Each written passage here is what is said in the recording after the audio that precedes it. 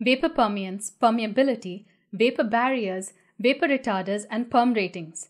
It's all pretty confusing, isn't it? In this video, we're going to look at the science of vapor movement, the perm rating system, and the ratings of specific building materials. The exterior walls of a building are responsible for controlling four main differences between the conditioned indoor and the unconditioned outdoor environments. The first and most important is water, which is controlled with cladding or siding, windows, doors, flashing, and a water resistive barrier like Tyvek and zip system. The second is air, which is controlled with plywood or OSB sheathing, some types of insulation, plastic sheets, caulk and tape, and fluid applied weather resistive barriers. The third is temperature, which is controlled with insulation like fiberglass, rock wool, spray foam, denim, hemp wool, and cellulose. The fourth is water vapor, which is controlled by the arrangement of many material layers. It's pretty obvious that controlling water, vapor, and temperature is important, but why is vapor such a big deal? Well, older homes were built differently. They have high air leakage, high ventilation rates, and lower relative humidity levels. Any water vapor in the exterior walls could easily evaporate either to the interior or to the exterior. Nowadays, we're trying to build airtight homes with smaller air exchanges and no air leakages. We now use continuous spray foam insulation and inoperable windows. While this makes homes more efficient, they also lead to high relative humidity levels inside homes, which can cause mold and mildew to grow in your walls. That's why controlling vapor is so important. We have to invent new methods and materials to prevent condensation because our construction techniques have changed. There are a couple of terms we need to clarify before moving on. Relative humidity is one of them. It is the percentage of water in the air relative to the maximum the air can hold at a given temperature. The relative humidity changes when the air temperature changes because warmer air can typically hold more water vapor than cooler air. Ideally, the relative humidity inside your home should be between 30 and 50%. Anything higher can lead to rot, mold, and structural damage. Dew point is another term in this discussion on vapor movement. It is the temperature at which water vapor condenses into liquid. If warm air comes in contact with a cool surface, the molecules slow down and the gaseous vapor turns into liquid water droplets. This is the same phenomenon that causes water droplets to form on a glass of cold water kept outside on a warm day. You don't want that condensation to happen inside your walls. You want to place a vapor barrier or a vapor retarder at a certain part of your wall before the warm air has a chance to cool down and condense.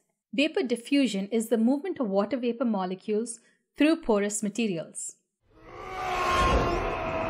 To achieve an equilibrium, water vapor typically moves from the side with high vapor pressure or warm air to the side with low vapor pressure or cold air. In cold climates, water vapor in the warm interior air is driven to the cooler exterior. In hot climates, water vapor in the warm exterior air is driven to the cooler interior. To measure the ability of a material to let water vapor pass through, we came up with a rating system called perm rating. In the US, a permeance or perm rating of 1.0 means that in one hour, when the vapor pressure difference between the cold side and the warm side of a material is 1 inch of mercury, 1 grain of water vapor will pass through 1 square foot of the material. 1 grain of water is equal to 1 7000th of a pound. An inch of mercury is a measure for vapor pressure. In the metric system, a perm rating of 1.0 means that in one day, when the vapor pressure difference between the cold side and the warm side of a material is 1 millimeter of mercury, 1 gram of water vapor will pass through 1 square meter of the material. 1 metric perm is equal to approximately 1.5 US perms. Now let's look at the US perm ratings of the most common building materials. The lower the number, the less likely it is to allow water vapor through. The first classification includes materials with a perm rating of 0.1 or less. They are considered vapor impermeable or a vapor barrier they barely allow any vapor through. This includes glass, 1 mil aluminum foil, cork flooring, rubber flooring, 6 mil polyethylene, sheet metal, and foil faced polyiso. The second classification includes materials with 0.1 to 1.0 perms. They are considered semi-permeable to water vapor. This includes vapor retardant paint, oil-based paint, asphalt-coated paper, foil-faced fiberglass, 2 inches of closed cell spray foam, 1 inch of XPS, and kraft paper insulation. The third classification includes materials with 1 to 10 perms. They are considered semi-permeable to water vapor.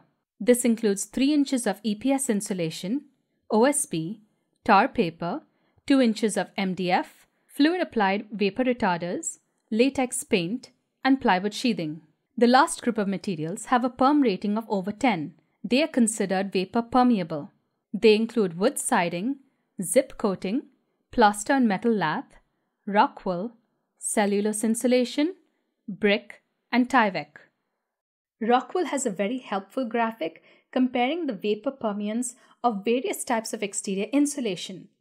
The chart shows us that XPS is the least vapor permeable and cellulose is the most vapor permeable. It also shows us that vapor permeance decreases as the thickness of insulation increases, which makes sense. It's more difficult for water vapor to travel through thicker insulation materials. I'll link this chart in the description below. Remember that all the values we just discussed are permeance or the moisture transmission rate of materials. Permeability is the permeance multiplied by the thickness of the material. I was hesitant to include actual ratings of each building material because every website, research journal, and study provides different numbers. The science of vapor movement is still fairly new, so building scientists seem to come up with different hypotheses every year. I'm going to release another video tomorrow explaining the location of vapor barriers or vapor retarders in different climates and different wall assemblies like brick, CMU, and stucco walls. Hope you enjoyed this video. Let me know if you have any questions in the comments below. Don't forget to hit the like button and subscribe to my channel. I'm also going to provide a link to my Patreon page.